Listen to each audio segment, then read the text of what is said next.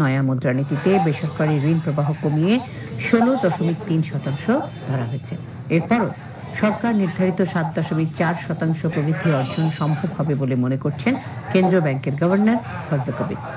সঞ্চয়পত্রের উচ্চ সুধার ও প্রবাসীদের পাঠানো আয় রেমিটেন্স কমে যাওয়া নতুন মুদ্রানীতি বাস্তবায়নের ঝুঁকি হিসেবে দেখছে কেন্দ্রীয় ব্যাংক।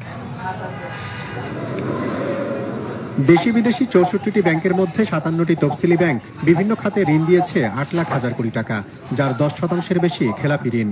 বিনিয়োগ বাড়াতে মুদ্রানীতিতে নানা পদক্ষেপের পরও গেল মে মাস পর্যন্ত বেসরকারি ঋণের প্রবৃদ্ধির লক্ষ্যমাত্রা অর্জন হয়নি। অন্যদিকে সরকারি ঋণ গ্রহণও কমেছে ষোলো দশমিক দুই শতাংশ। নিম্নমুখী এই প্রবণতার মধ্যেই নতুন মুদ্রানীতি ঘোষণা করল বাংলাদেশ ব্যাংক। নতুন মুদ্রানীতিতে বেসরকারি ঋণ প্রোভাইড টার্গেট ষোলো দশমিক পাঁচ শতাংশ থেকে ষোলো দশমিক দুই শতাংশে নামিয়ে আনা হলেও তার সংকোচনমূলক মানতে নারাজ গভর্নর। অন্যদিকে, জিডিপির প্রবৃদ্ধিতেও এর খারাপ প্রভাব পড়বে না এমন দাবি তার। ডোমেস্টিক ক্রেডিট বা প্রাইভেট সেক্টর ক্রেডিট সংযুক্ত করতে চেষ্টা করছি আমরা। সেই ক্ষেত্রে আমরা ষোলো দশমিক তিন নির্ধারণ করেছি। আমরা কিন্তু কোনো এরকম কোনো সিগন্যাল দিচ্ছি না যেটা কোনো সংকোচন বা কিছু। এটা অত্যন্ত বাস্তবিক এবং এটা আমরা ব্যালেন্স করেছি। আমরা ফোকাস করছি এই স্থিতিশীলতা এবং কর্মসংস্থানমুখী প্রবৃদ্ধি।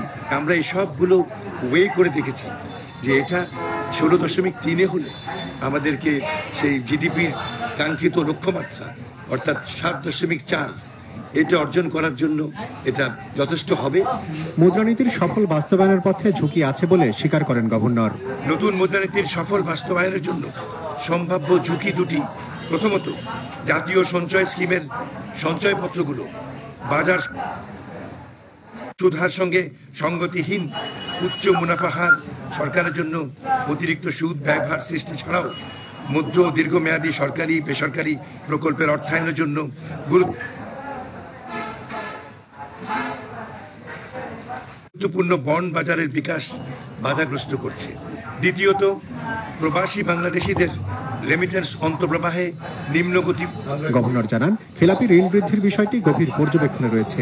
এছাড়া সরিয়া ভিত্তিক ইসলামী ব্যাংকিং পরিচালনায় আলাদা গাইডলাইন তৈরির পরিকল্পনা রয়েছে বলে জানান কেন্দ্রীয় ব্যাংকের গভর্নর। জিয়াউল হক সবুজ বাংলা